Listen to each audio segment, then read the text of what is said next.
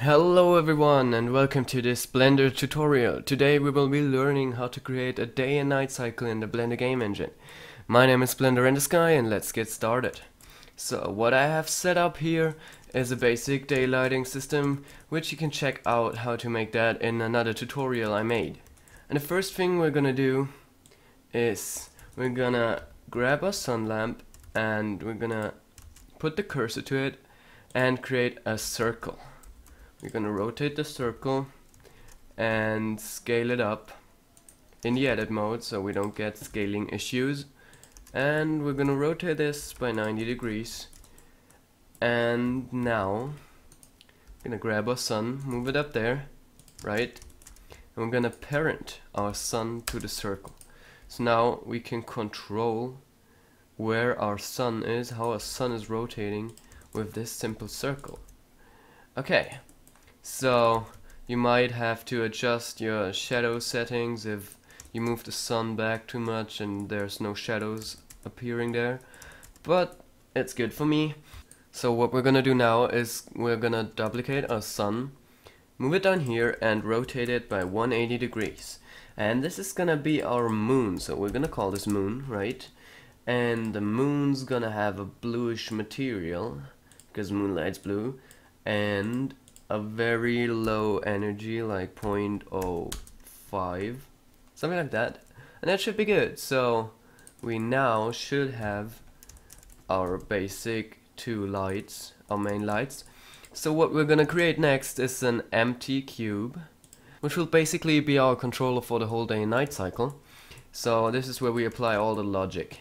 And we're actually gonna start by creating a property here called time. This is gonna be a float and we want this to always add I'm gonna zoom this in a bit always want to add to our property time plus one. With a skip of say zero for now. And now if this property time reaches a thousand we want it to be set back to zero so it's gonna repeat all the time and that's gonna be our day and night cycle.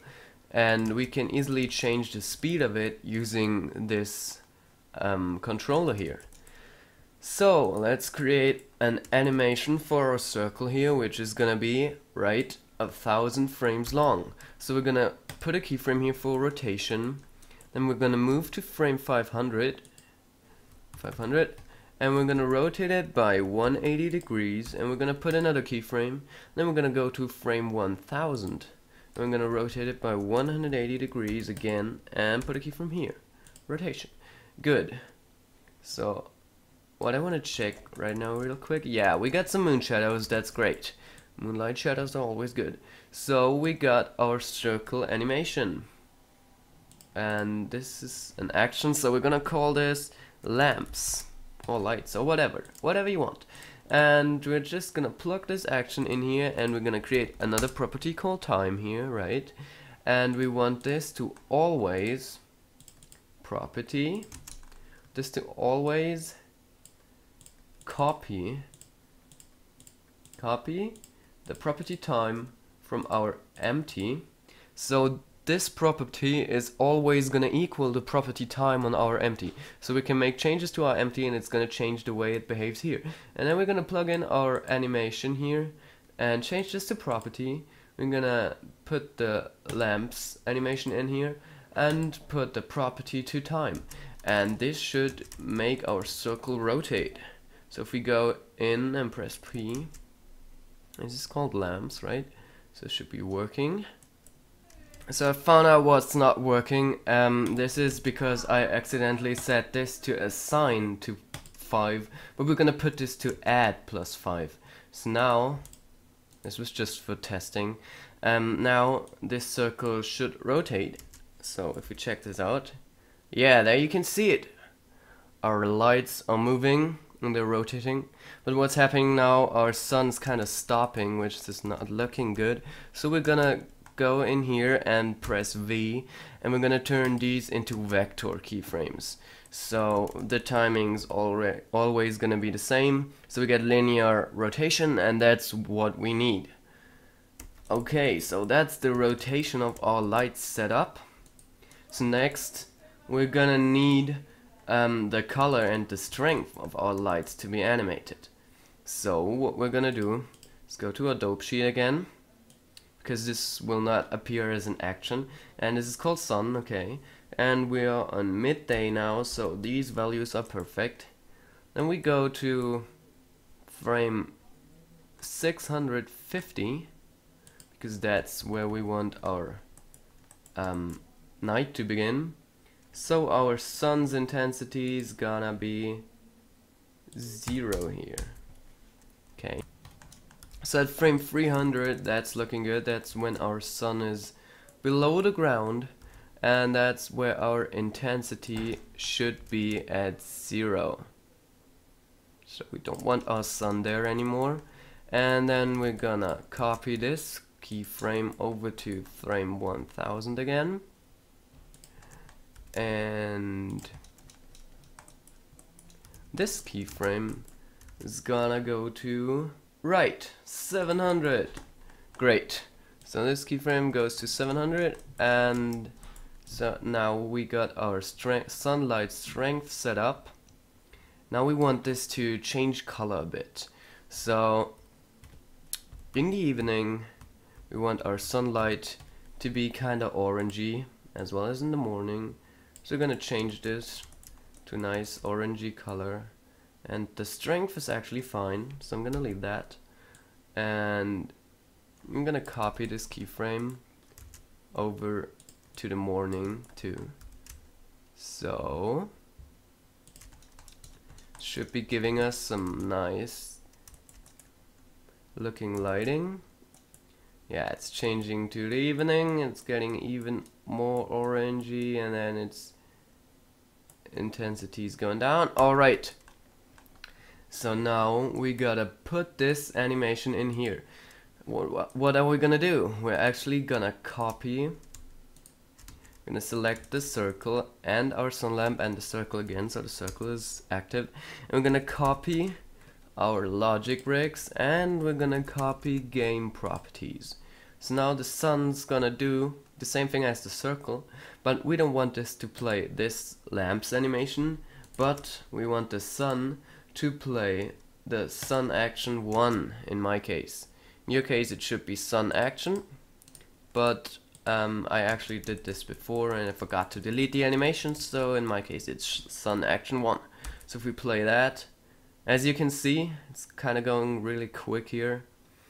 Our sunlight is orangey and yellow and orangey. But this is actually fading out too early for me, so we're gonna put this right to 350. Gonna change these keyframes a bit. You can also adjust them yourself. Make it look good. That's all you need.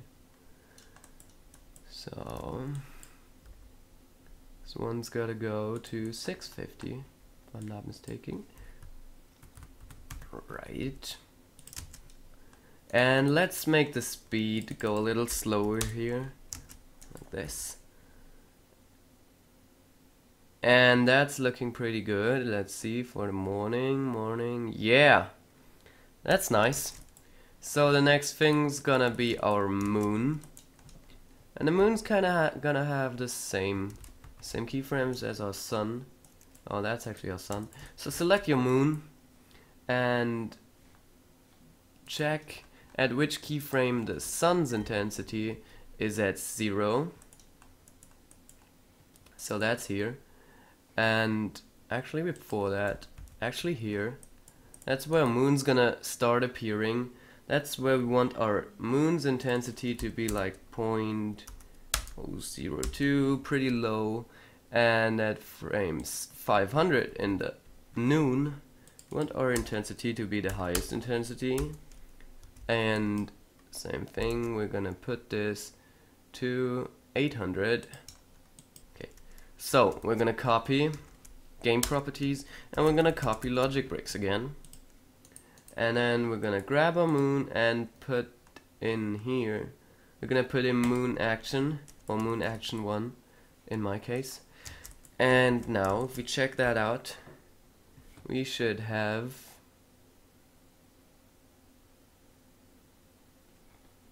this working, right. So we now just have to animate our fill lamps to also change their strength and they have some actions applied still. So I'm gonna leave this on here because that's basically the same setup as with the moon. You can do this yourself now. Um, but we're also gonna create an animation here which is gonna turn their values down so at frame 0 or 1 we're gonna have them at a high strength like this like 0.06 or something like that. And frame 200 which is evening I'm gonna put them down to 0.02 and at um well when's our sun gonna be out? Here? Yeah. At this frame when our sun's gonna be out these are also gonna go out. And then I'm gonna check when is our sun going back on or uh, when is it still out. I'm gonna put this keyframe here again like so.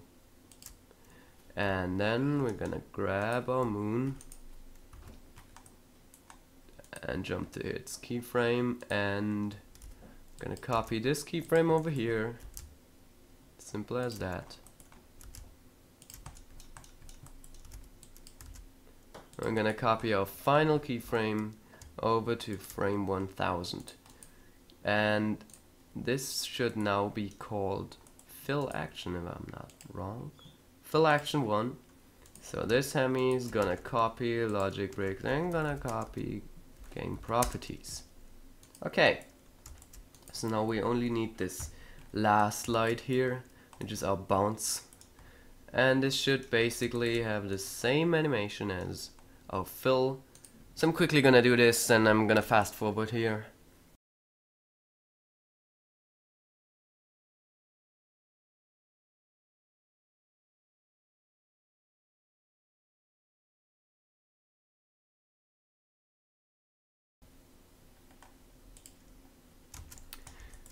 Okay, so our lamps should be set up. Let's play this.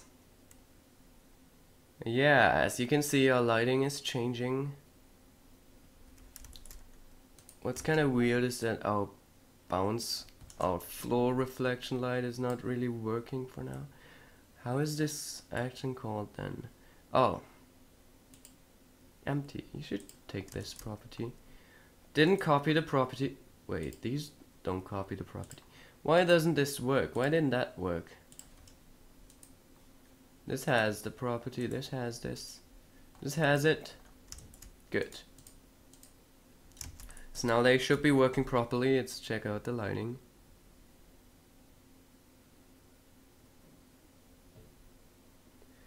Great, so you can see our lamps are working.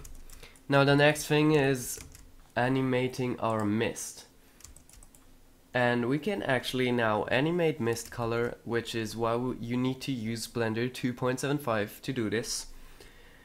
Which is the version where you can animate your mist color right? So we're gonna put a keyframe here. And if it's getting evening which is at frame 200 we're gonna make the mist go orange. Kind of like so. And at nighttime of course the mist I'm gonna do this a bit earlier. The mist's gonna be black. Maybe not completely black, like grayish something. And this should be at night. No, that, that should be earlier, right? So we're gonna put this here.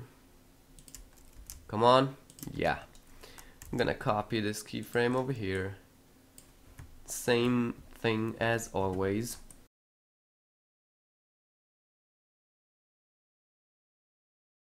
And what we can also change, which is, which is quite awesome, is the depth of our mist. We can animate this. So we're gonna put a keyframe here, and at nighttime, I want this mist to come a little bit closer to me. Something like that. And so again, we're gonna copy these keyframes over and over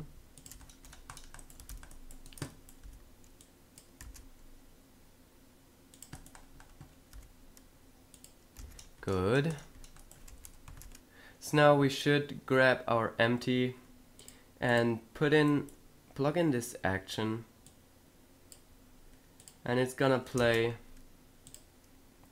our world action, world action 1 in my case, again.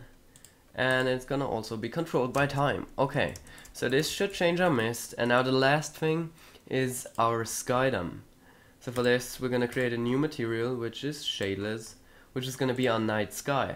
It's gonna get a new texture with some stars on it. And if we apply this texture, this material, sorry, we can see our stars in the sky. Yeah, that should be good. So what we're gonna create is a new material and this is gonna be our node material and we are gonna call this sky dumb or something like that. I've got this already. Okay, so this is skydome. Gonna make this a node material and in the first slot we're gonna plug in material 1. We'll assign our skydome to the material. We're gonna duplicate the material and we're gonna put in our material 2 or night, you can call it if you want. And then we're gonna put in a color mix node like so. And now if we have a look at this here, I'm gonna size this up a bit so we can see it. If we move the factor we can change from our day sky to our night sky, right? That's great. So we can't actually animate this value, that's not working. So what we need to do is grab an input, lamp data, and we're gonna put in our sun, sun 01 in my case, or sun, no, sun. So, if we now plug this color into our color output, and we now scroll through our frames you can see that our skydome takes the same color has the same color as the sunlight's color and what we can do is using a color ramp gonna quickly create a color ramp here put this in. This is gonna give us a grayscale version of the same thing. And if we now add some more contrast to this like so. Can adjust this here. And this is gonna be used now as our factor for the mixing now it's kind of turned around so what we're gonna do is we're gonna swap these and if you now scroll through the timeline should be able to see our sky is changing Maybe we're not gonna swap those, but we're gonna plug in and color invert here. We can change when this is changing with our color ramp, which is pretty cool. So now we're gonna check if the transition is good or not. So we want this to stay date like a little bit longer. Like that. What kind of bothers me right now is our mist colors looking a bit bad. Like it's looking great here, it's looking good, it's looking good. And then when it turns to black, it goes over some weird, weird color. Like here. I don't want that. So, gonna create, create another keyframe here. Just for good looking. Yeah. That's better. Okay.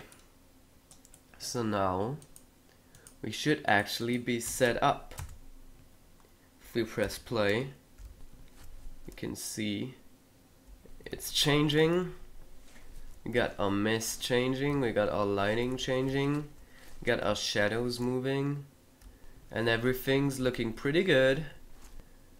So now the fun part of it is adjusting these values here to make it look nice. So, because this is a float, you can also use decimal numbers. So we can change this to something like 0.1. And if we check this out now, our day is actually passing a lot slower, which is great because that's what would be realistic, right? But I'm not gonna wait so long now, so we can we'll make this go a bit faster here again.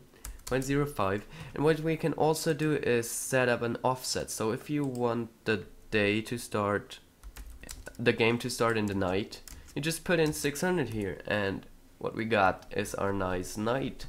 And the game is starting here and then it's getting morning. So that's actually pretty cool and pretty easy to use.